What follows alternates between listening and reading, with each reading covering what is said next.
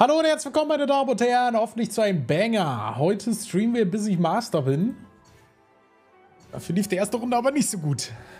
Ähm, ja, dieses Cloak-Item, das, das äh, macht Early Games sehr schwer, wenn das Leute haben.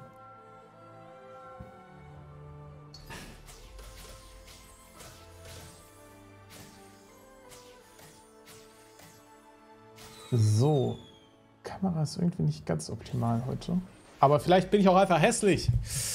Äh, wir haben was genau? Eine Tacticals, ne? Okay. So, Twitch-Chat, mitdenken jetzt. Wer profitiert davon, wenn man eine Unit mehr haben darf? Alle Chase-Trades, ne? Heavenly, Ghostly, Mythic. Mythic mit Abstrichen wahrscheinlich. Ghostly auch mit Abstrichen. Spielt's E6 meistens.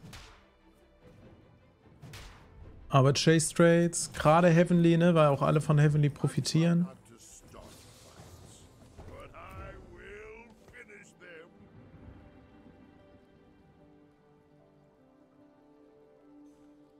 Kaiser Trickshot für Inkshot Item schon auf Level 8, ja. Sehe ich. Fated?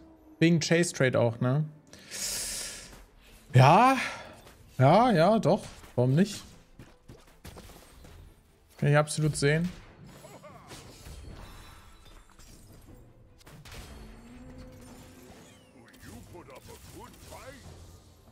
Hä? Hä? Wait. Also habe ich den Jax zu spät gekauft, aber genau hier war wieder ein Jax? Das wäre die einzige Erklärung, wie es jetzt genau dazu kam. That, that's kinda wild, oder? Also das muss jetzt so sein. Okay. I, I, I guess. Oh, Malchtier. Ja. Safe. Mit nah 2. Mit nah 2 ist man da sofort drin hier.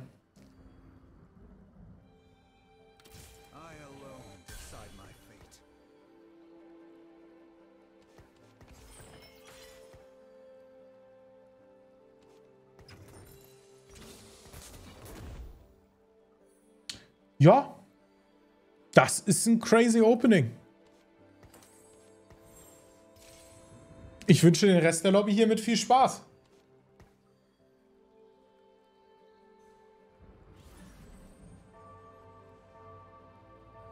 Ich würde sagen, das Bot kann was. Ja, ich würde sagen, der sieht nicht so stark aus.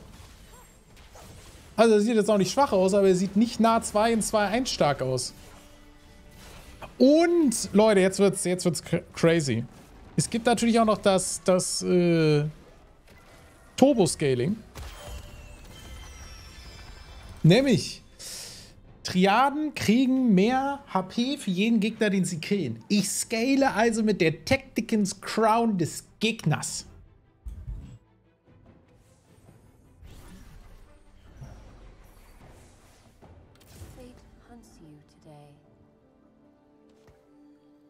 Der 75 Millionen IQ Powerplay.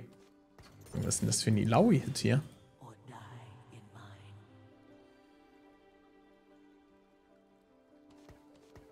Meine Idee war, hier Ari mitzunehmen. Um das hier spielen zu können.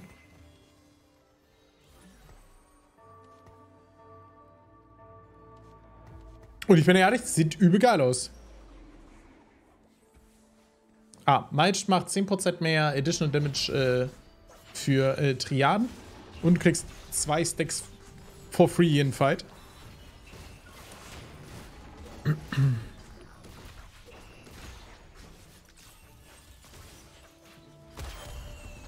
Ja, Fate 3 noch reinspielen zu können. Keiner sexy.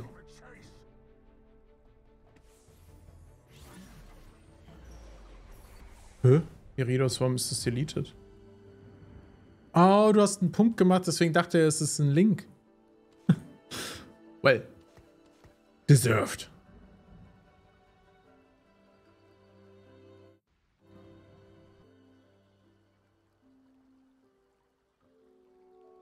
Da kaum sepp ich rein, schon wieder Gnar. Bist du Gnar anziehend hier? So, da kommt rein, sieht du Gnar 2 in 2 1. Ja, es schmeckt, ne? Es schmeckt.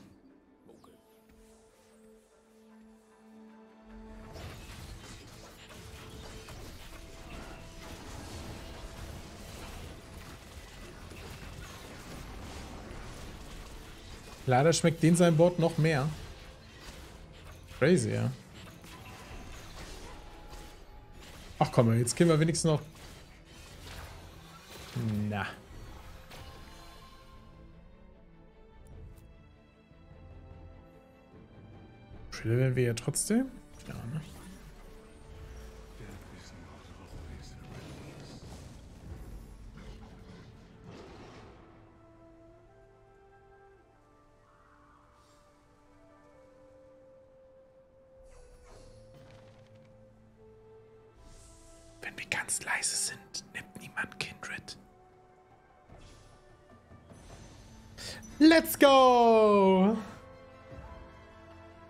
Ich bin absolut TFT-Experte aus dem Emerald Gauntlet. Komme ich zu dem Schluss, das ist eine Winstreak. Und drei Sekunden später verliere ich. Emerald-Spieler.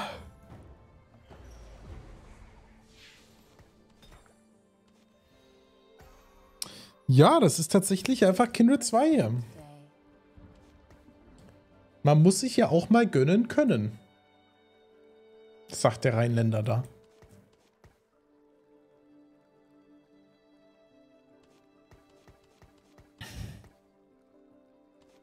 Ja, reden wir mal darüber, was es auch fehlt, um glücklich zu sein. Ein Triad-Emblem, ne? Triad-Emblem würden wir mitnehmen.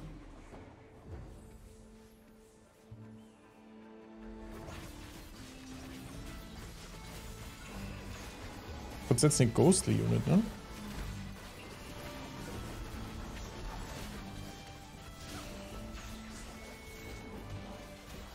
nah der durchcastet. Finde ich auch klasse. Oh, nice. Die Ari hat noch die Ult von der K getankt.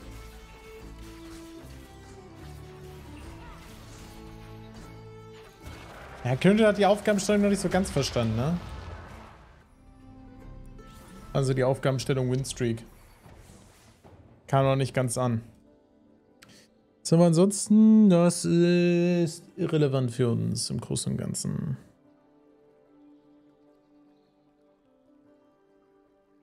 Ja, das ist, äh, läuft jetzt nicht so gut wie gedacht, ne? Vielleicht ist das Fated Opening fake. Ich habe mich da ein bisschen zu viel über was gefreut, was gar nicht gut ist.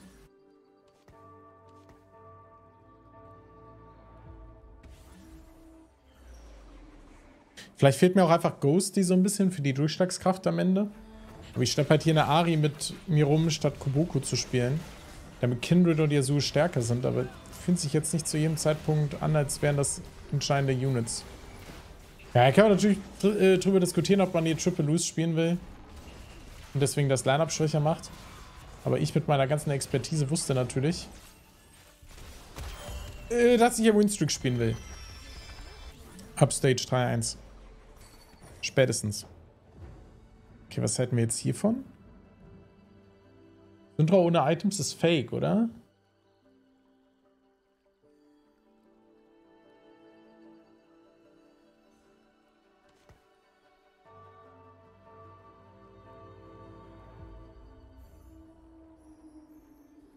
Aber ich würde den 3-1 sogar Fated rausnehmen. Aber weil ich echt Angst hätte, einen Fated Augment zu kriegen. mich einfach nicht besonders glücklich machen würde.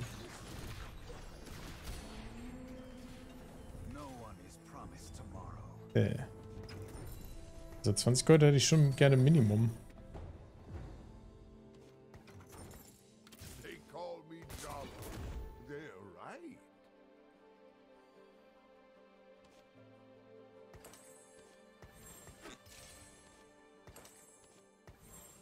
Ist okay, ne?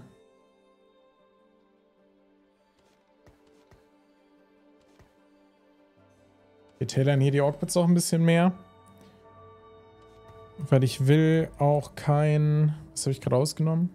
User-Emblem.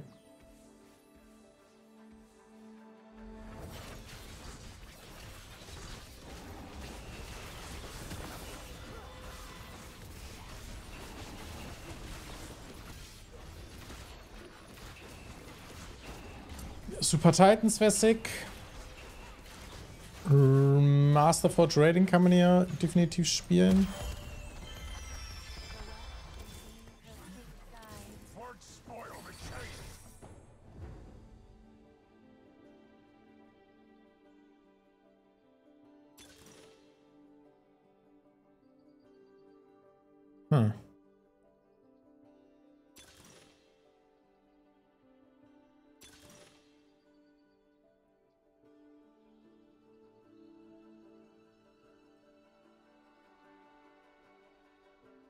Tatsächlich geht Tiny jetzt, äh, Bad Deadly jetzt ziemlich gut hier.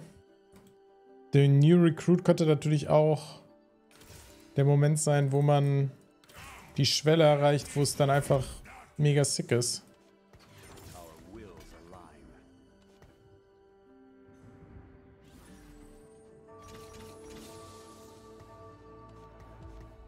Schon wieder getreut, ne? Ist einfach nicht ganz wohin damit.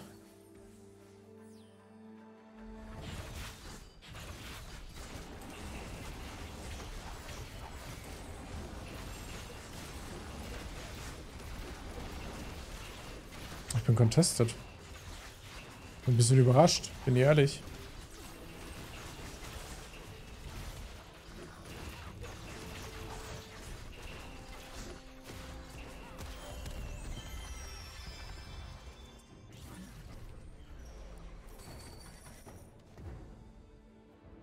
Schließt sich mir auch nicht vollständig.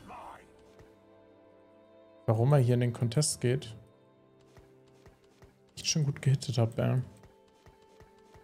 Ghostly 4 ist hier so viel besser, aber dafür muss ich eine Kate hitten.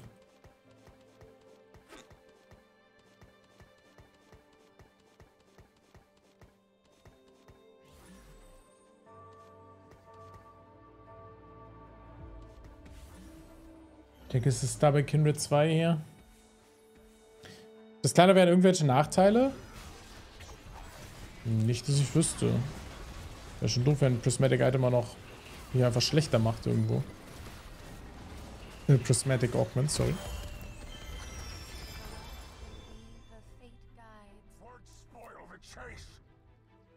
Ja, hier habe ich nicht genug nachgedacht, ne? Ich habe Caitlyn mir nicht markiert, nicht im Kopf gehabt, dass ich die hier wahrscheinlich spielen will. Ich kann hier natürlich einfach vier Ghostly spielen, bis ich vier Triad habe.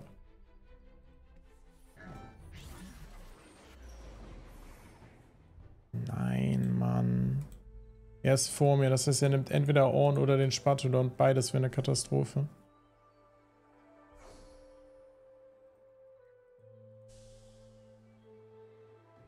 Aber er hat natürlich auch schon äh, ein Emblem, ne?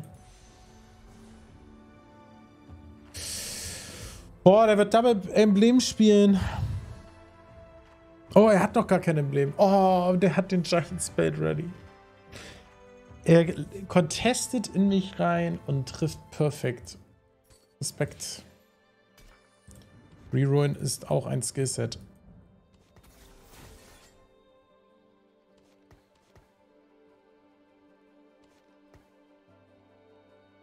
Scheiße.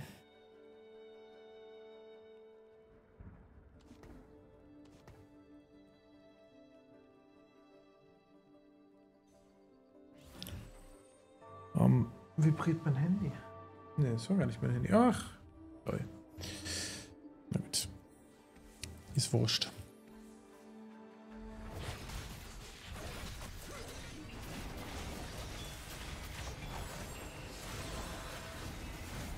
Wie Kindle kurz nach vorne gedasht ist, um sich ein Item von Ohren abzuholen. Das ist natürlich auch ein Legenden-Move, ne?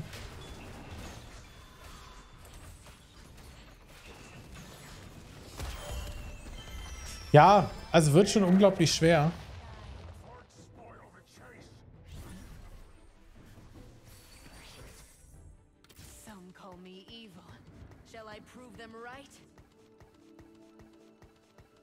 Ich meine Level 7 hat.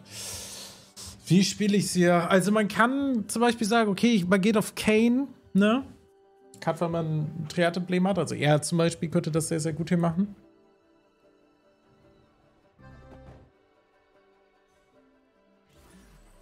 Ich kann das hier ehrlicherweise nicht so easy machen, ne? Vor allem habe ich sechs Kindreds, ich sollte schon durchziehen. Hoffen wir, dass mein Ohren hier möglichst lange durchtanken kann. Interessanterweise kriegt der Ohren überhaupt keine Akku hier. Also weder vom Kha'Zix noch vom Volibear. Sondern nur von der Soraka dahinter.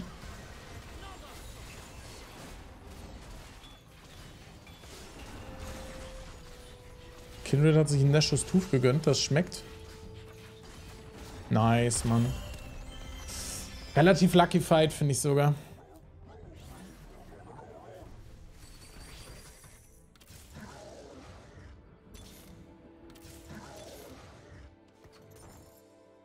Ja, Pros leveln hier, äh, rollen hier oft jetzt einfach runter. Um quasi leicht besser Odds zu haben, bevor der andere durchrollt. Die meisten ja nach der Creep Round rollen und man hat so mathematisch dann so eine kleine Edge. Wenn man einfach rollt, wenn auch mehr im Pool ist.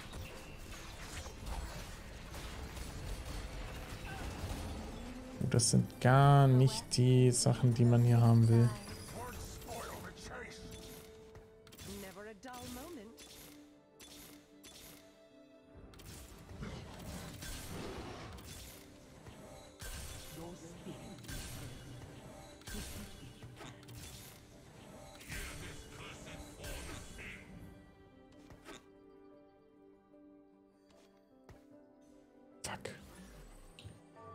Reicht nicht.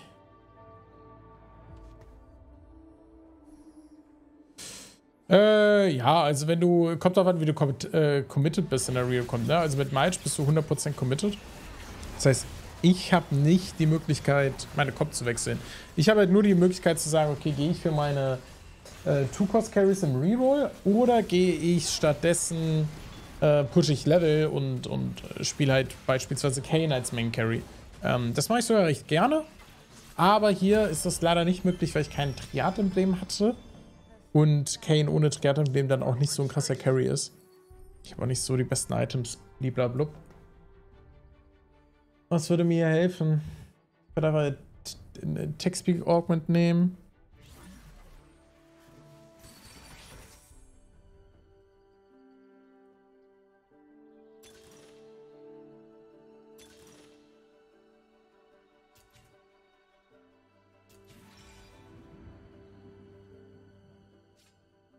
Muss Support-Item nehmen, ne?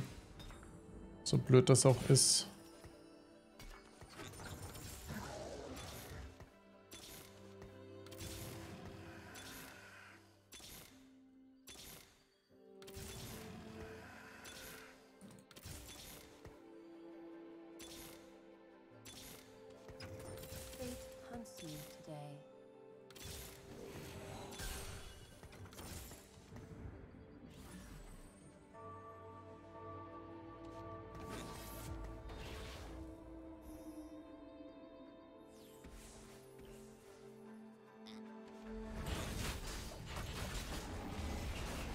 Ja, das war One verliere ich natürlich noch. Ah, wobei.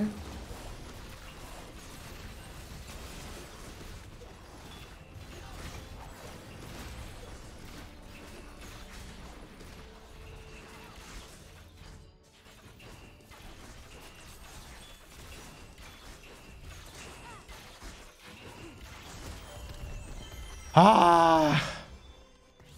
So close.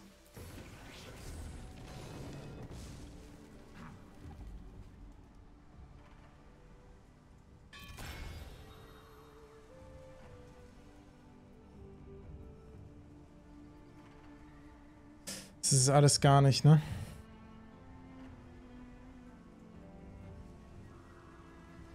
Scheiße.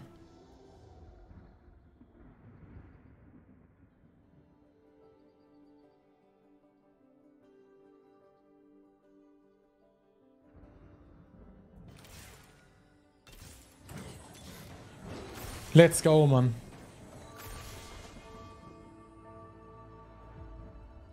So, wer kriegt hier Mana sein bis Asir?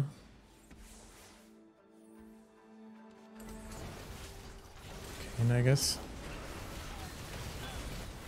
Oh, er ist Mana locked. Ist das terrible?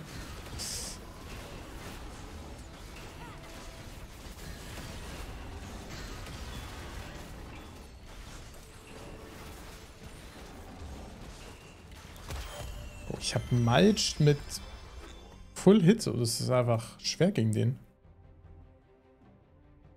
Ich create Blue Buff. Create äh, Blue Buff Kindred, weil ich den Unterschied tatsächlich extrem finde. Ich würde aber auch Spear spielen, wenn es sein muss. Das macht nicht so einen krassen Unterschied, ne, bei 30 Mana.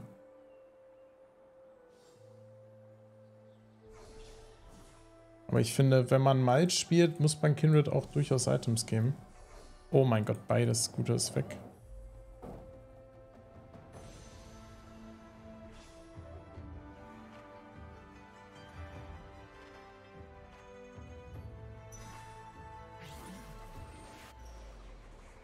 Well, that fucking hurts.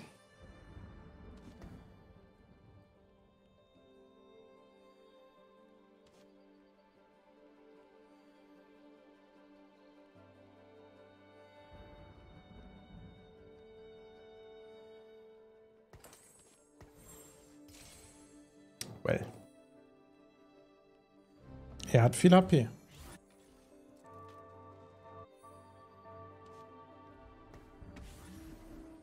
Er hat viel HP for sure. Warum hat der Ulia 2 und Irelia 2? Weil der Rich Get Richer mit Patient Study gespielt hat. Ich denke, der ist einfach ein guter Spieler.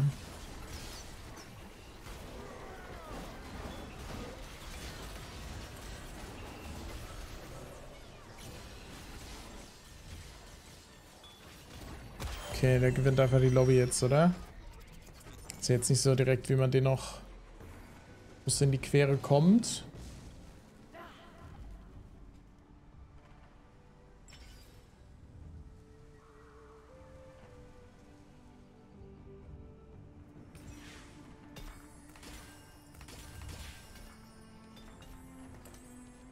Boah, der war close. Ja, Triad 6 ist halt hier nicht drin. Das heißt, ich habe nicht so den, den Peak, den man, sich, den man sich normalerweise wünschte in der Comp.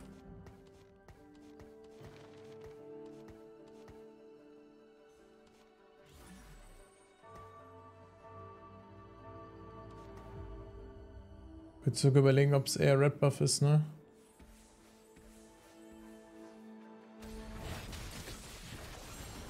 Aber ich glaube, wir spielen ja nicht für Top 2. Und dann sollte man jetzt immer alles, alles slammen, was irgendwie geht. Boah, hat der Narbe einmal mit der Ult durch die Backline rasiert. Das schmeckt. Staging Activity schwer, war vor allem, weil die Figuren uns so immer wieder ändern. Und das hat mit dem Einstieg eigentlich gar nichts zu tun. Einstieg ist eher schwer, weil... Also kommt halt vor allem damit zusammen, ob man schon mal ein Auto-Chess-Game gespielt hat. Aber viele Ausrufezeichen Guide. Danach hat man eigentlich ein Gefühl dafür, ob man Spaß daran hat, sich äh, in sowas einzulesen oder halt eben eher nicht. Kann ich beides voll verstehen. Ja, dann haben wir hier halt ein Level... Level 8 Bild, wo wir ein bisschen hoffen müssen.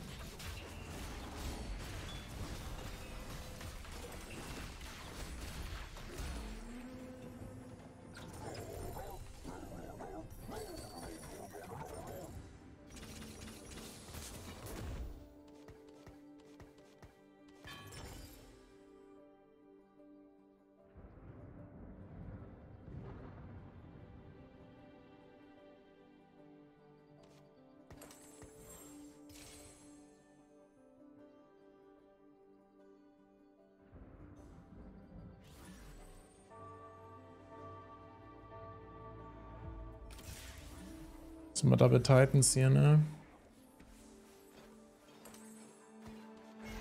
Ich habe überlegt, ob es vielleicht Double Titans für, also ein Titans für Orn ist. Ja, aber Überlegung eben, also man kann, man hätte ja auch hier überlegen können, eben, ob man eher Richtung Edge of Night geht. Ähm, also ob man die Armor zurückhält, statt das zweite Titan zu bauen. Aber mir war klar, dass ich das BF eher in einen Spear of Soldier investieren werde. Und dadurch hat sich so ein bisschen von selbst aufgestellt. Ja, das ist so ein bisschen die, die ganz normale Triad Reroll kommt, ne? Halt eben stärker durchmalcht. Tiny But geht auch als S-Tier Augment. Teaming Up jetzt ehrlicherweise natürlich nicht. Wir haben es hier genutzt für Obsidian Cleaver. Ja. Ich hatte jetzt eher auf QSS oder so etwas gehofft. Auch die Rexa übrigens sehr, sehr tanky, ne? Deswegen habe ich übrigens das, äh, die Tactics Crown auch auf Ilaoi gemacht, weil hätten wir Thieves Glove irgendwann more or less for free bekommen, dann wäre das genau eine Überlegung gewesen zu sagen, okay, und dann äh, kriegt die Rek'Sai.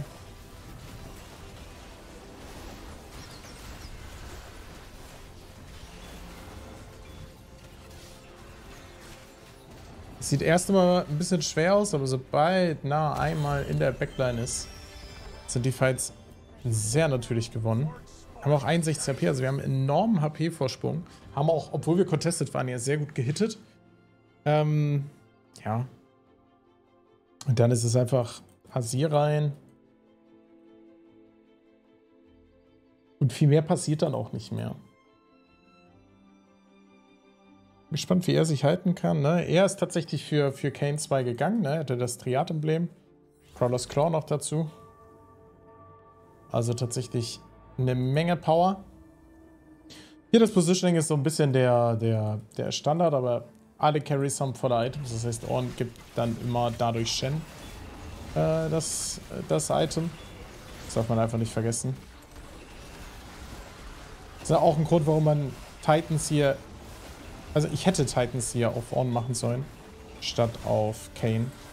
Weil Orn ja Kane ein besseres Item als Titans geben kann. Ja, aber er hat quasi den Contest aufgegeben. Oder halt eben die, die Comp leicht abgeändert. Und äh, ich denke, er bereut es. Im letzten Zug wird er mir jetzt nochmal Reaper denyen hier. Ist actually gerade Dritter. Oh, er denied mir gar nicht, sondern wer anders.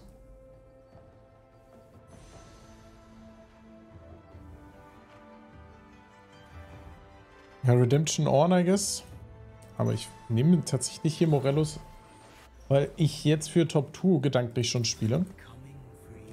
Und Top 2, Azir, Mana Zane plus Rabadons als, als äh, Wincon hinten raus. Mit der Option. Ja, mit was für einer Option? Let me think.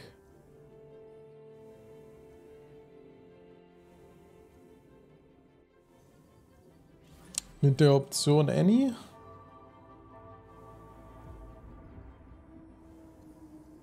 Ja, meine von Sarah auch drei Schwerter nehmen können. Exakt. Und dann Spear und Edge of Night. Mein Ding ist einfach, ich habe ehrlicherweise die Koppler nicht so oft ohne Triad und dem gespielt, weil das eigentlich für gewöhnlich mein Get-Go ist.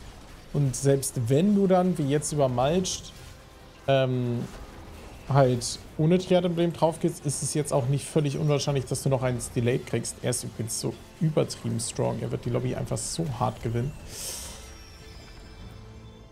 Es sei denn, es ist ja noch irgendein High Roller, aber ich, ich glaube, ich bin der High Roller. Ja, hier sieht man irgendwie ein bisschen das Problem in der Comp. Wandhytrans, äh, danke dir ganz herzlich für 10 Subgifts. Das ist aber lieb. Dankeschön. Die ersten Subgifts und dann direkt 10. Chapeau. Dankeschön. Sehr, sehr freundlich. Oh. Oh, er hat ein Exalted Board. Oh, er hat ein sehr, sehr gutes Exalted Board. Oh!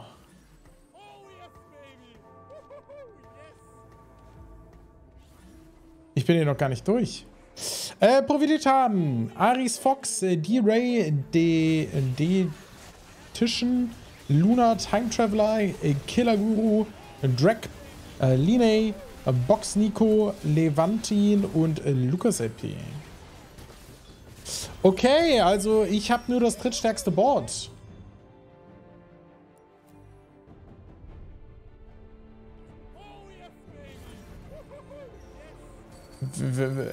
Honestly, wenn überhaupt. Der hat jetzt noch nah 3 gehittet, delayed. Dass keiner bodenlos ist.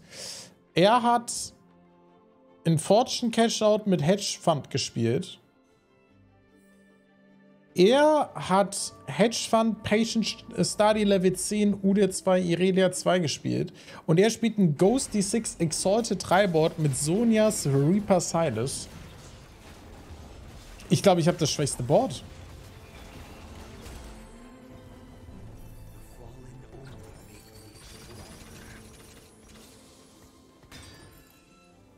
Was ehrlicherweise ja ziemlich crazy ist.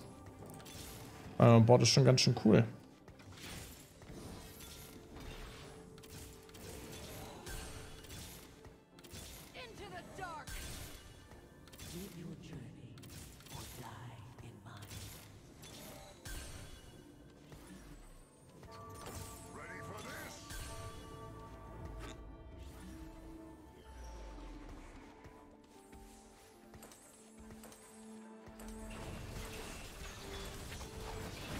Ja, on 2 mit 5600 HP. Ja, da muss er halt... Also dadurch, dass ich hier nicht Level 9 hitten kann, äh, musste ich halt jetzt hier einfach irgendeinen Backline-Carry finden. Hab Morgana 2 gerollt. Ich hatte überlegt, ob es trotzdem Hawaii 1 ist. Aber ich glaube nicht. Aber man natürlich in drei Runden Rek'Sai 3 zusammenschustern könnte, was schon ganz nett ist. Er war der, der Schwächste, den wir facen konnten. Deswegen war ich sehr dankbar, dass wir den gefaced haben.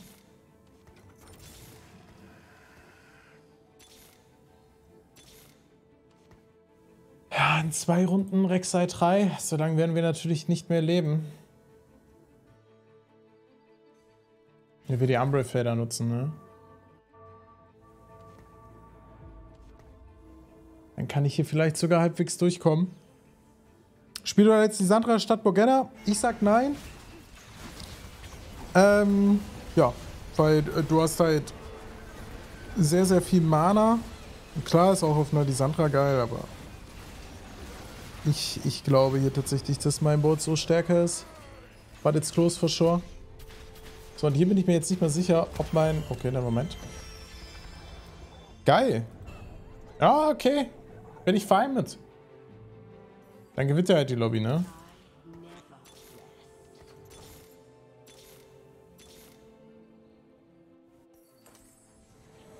Ah, das ist der andere. Oh, kann ich gegen den nicht gewinnen? Ah, okay, er hat Lucky Ricochet. Oh mein Gott, er hat einen sehr starken Udia.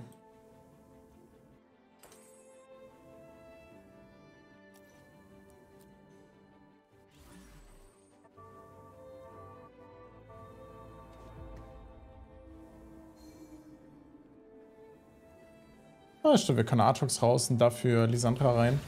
Das ist ein sehr guter Call. Ist mir leider untergegangen.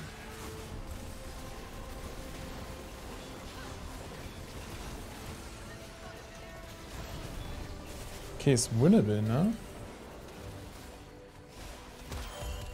Ha!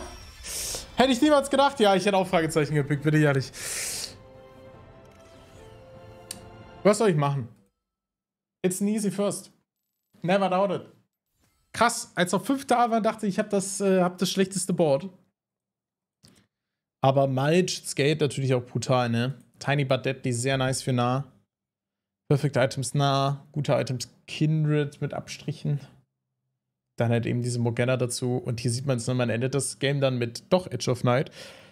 Weil der Double Warbox On halt eben Items schmiedet, bis das Game endet. Und äh, die gingen hier zum großen Teil auf Kane. Hätte gern Morg Damage gesehen. Haben im vorletzten Fight eingeblendet. Da war er solid. Krass. Ich find's heftig, dass der nicht, dass der nicht gewinnen konnte. Oh mein Gott, der ist Vierter geworden mit dem Board. Das sind fünf Legendaries auf Two-Star. Aber klar, er spielt mit Patient Study und Hedgefonds zwei Eco-Trades. Ich wiederum spiele mit meinem Setup ah, zwei Combat Augments. Der Nav sehr früh, nah 2 in 2-1, das hat auf jeden Fall geschmeckt. Und im Contest so zu hitten, das ist auf jeden Fall sehr, sehr geil. Deswegen, Malch bleibt mein absolutes League Augment in diesem Set. Und ich hoffe, euch hat die Runde gefallen. 39 Babys Changer.